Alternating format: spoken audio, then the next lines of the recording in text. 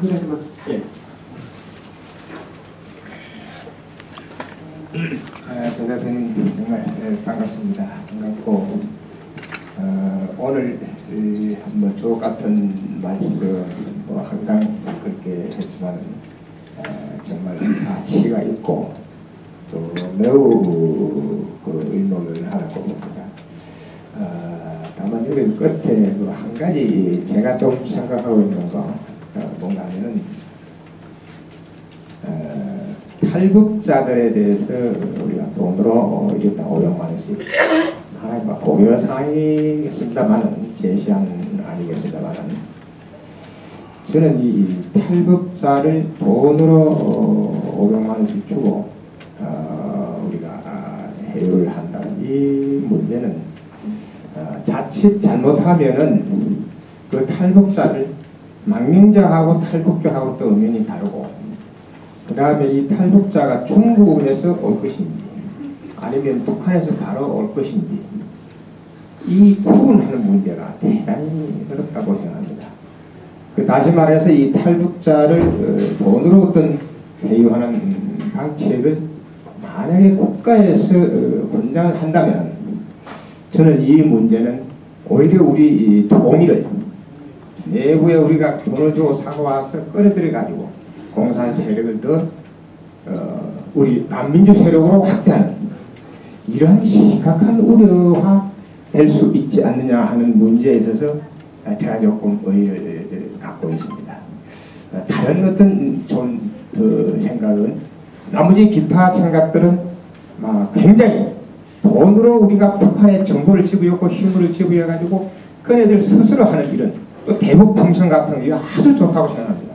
국가에서 대북 방송 우리 지금 대북 방송 국가 아, 노정권 때 네, 스스로 그 말씀 없이 드렸습니다. 그 질문 예, 그 그래서. 네. 그 탈북자를 돈으로 사서 보는 이 문제는 굉장히 우리가 아, 심각하게 좀 고려를 해야 되겠다 이런 생각을 갖고 있습니다. 의견이 있으시면 어, 그거는 내가 탈북자 회유하는 건 아니고 탈북자를 어, 탈북할 사- 할 의사를 가진 사람을 어, 우리가 돈을 주고 구출해 오는 것이고 사지에서 구출해 오는 거지. 뭐 회유하고 할 그런 여유도 없고 어, 그래서 탈북하고 싶어 하는 사람들이 많은데 주로 그 경로가 어떠냐면은 여기 2만 명이 먼저 나왔으니까 자기 가족들을 많이 데리고 옵니다. 에, 그러니까 돈을 벌어서 데리고 오는 사람도 있고 뭐 이렇게 하는데 그런 사람들을 도와줌으로써 어, 한국의 탈북자가 강성해지고 북한은 그만큼 약화되고 그 다음에는 한 걸음 더 나가면은 북한의 정치범들도 나중에는 돈을 주고 우리가 사올 수가 있습니다. 납북자도 사올 수가 있고 북한 포로도 사오면 돼요.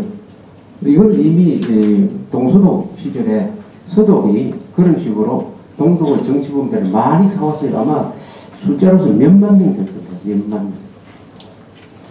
네, 주 대표님 제가 좀 두 가지만 말씀 좀 듣고 싶습니다. 하나는 이제 금년 6월 2일이면 이제 시도지사 선거, 교육감 선거가 아, 벌어지게 되는데 이 선거 과정을 통해서 이 후보자들이 교육감은 전교조 문제에 대한 기본적인 입장이 뭐냐, 아, 그리고 이념적인 정체성이 뭐냐 하는 문제까지 비화가 되지 않는다고 비화가 되어야 된다고 생각합니다. 그래서 모든 후보자들이 에, 그런 그 검증 과정을 통해서 확실한 에, 그 검증을 받은 사람들만이 보수단체, 애국단체에 에, 이 보이지 않는 협력과 성원에 의해서 당선될 수 있도록 총력을 기울여야 되지 않느냐. 그런 그 절차 과정에 관해서 우리 보수 애국단체들이 어떤 과정으로 어떤 방법으로 협력을 하면 효과적이고 그 선거에서 우리가 희망하는 사람들이 교육감이나 시도지사에 당선될 수 있겠는가. 이 아이디어 하나 좀 말씀해 주시고 또 하나는 어, 6월 2일 이번 지방선거는 또 하나의 큰 이슈는 세종시 문제라고 생각이 됩니다. 이 세종시 문제가 이제 대안으로 이제 정부에서 발표가 될 텐데 조 대표님이 보실 때는 이 세종시 문제를 어떻게 보완해서 어떻게 에, 적절히 조절해 가면은 선거에서 무난히 이, 이 문제를 극복해 갈 수 있을까? 국가적인 통합과 국민적인 통합이라는 그런 그 어, 면, 면, 이, 그 부분에서 볼 때 이 두 가지 좀 말씀해 주시면 좋을 것 같습니다. 예, 세종시 문제는 11일 날 어, 정부가 대안을 어, 발표한 뒤의 여론조사가 어, 뭐 결정적으로 중요하지 않을까 생각을 합니다. 지금도 약 5대 4 정도로 어, 세종시를 수정을 해가지고 다른 도시로 수도 분할해서는 안 된다는 게 많아졌는데 예컨대 대안이 나왔을 때 그 대안을 보고 충청도 사람까지도 어, 그 대안을 찬성하는 쪽으로 가서 예컨대 지지율이 한 70%까지 된다.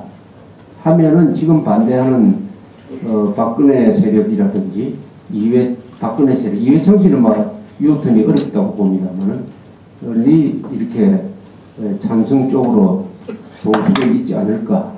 이 정치인들은 여론에 굉장히 민감하기 때문에 에, 그래서 만약 그래도 안 되면 어떻게 하느냐 그래도 안 되면은 대안을 냈는데도 불구하고 한나라당 안에서 반대하는 세력이 끝까지 남아있다 하면은 어떻게 되느냐 하면은 국민투표를 어, 심각하게 생각- 생각해야 된다고 생각합니다. 기존 정치권에서는 이게 해결이 안 된다.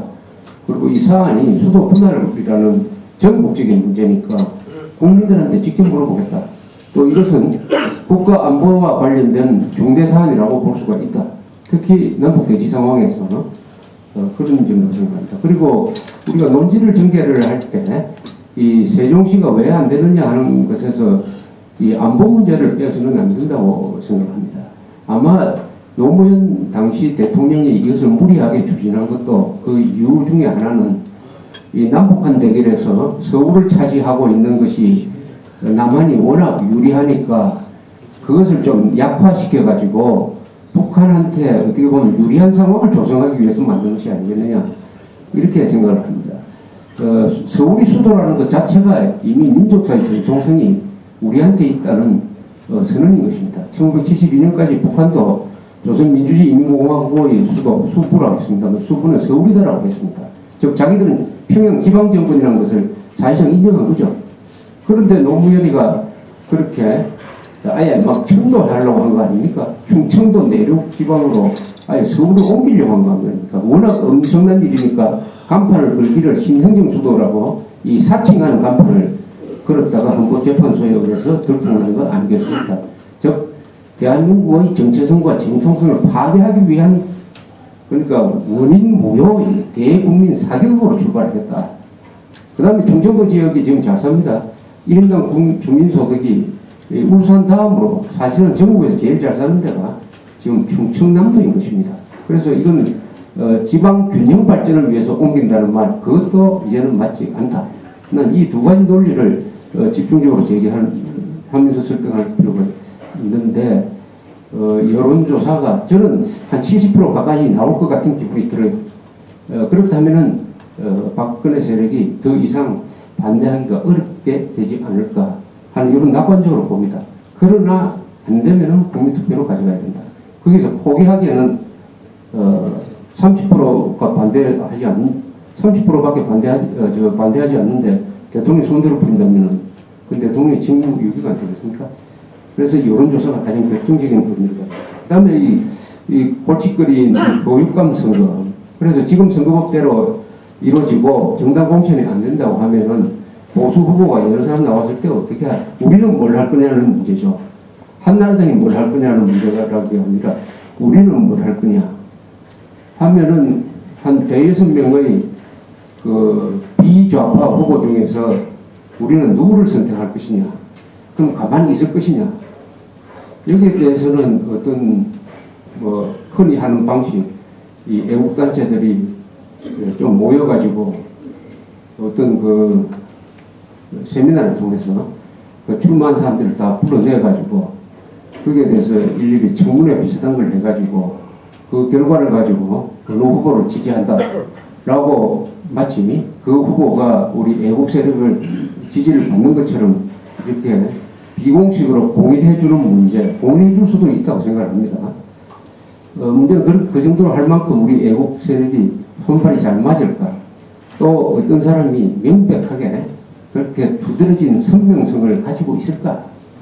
어, 요게 조금 걱정됩니다만은 어쨌든 이 애국 세력이 여기에 큰, 어, 국- 어, 이 교육감 선거에 긍정적인 법의 테두리 안에서 역할을 해야 된다고 생각합니다.